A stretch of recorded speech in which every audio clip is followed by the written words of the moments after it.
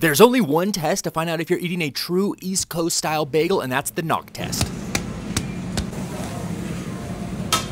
This shows just how crispy the outside is, but also being moist and fluffy on the inside. You can get these at the Bagel Nook in Las Vegas. They are known for their wild, crazy bagel creations, but they also have some phenomenal house-made cream cheese spreads. They make their bagels the old-fashioned way, which requires a short boil before the bake to ensure the ultimate crispy but also fluffy factor. The Bagel Nook started as a small mom-and-pop shop in New Jersey, but after expanding to Vegas, the lines have kept up like crazy. After a solid bake of about 20 minutes, these bagels come out super crispy but oh so fluffy on the inside. They are magical. Obviously, the Bagel Nook is known for their famous cream cheese spreads, but I just love a phenomenal breakfast sandwich. You can load these things up and get creative as you want with Taylor ham, bacon, whatever your heart desires. And you must get this jalapeno cheddar bagel. They do it like a grilled cheese with bacon, eggs. This thing was phenomenal. So next time you're craving an East Coast bagel, this is it.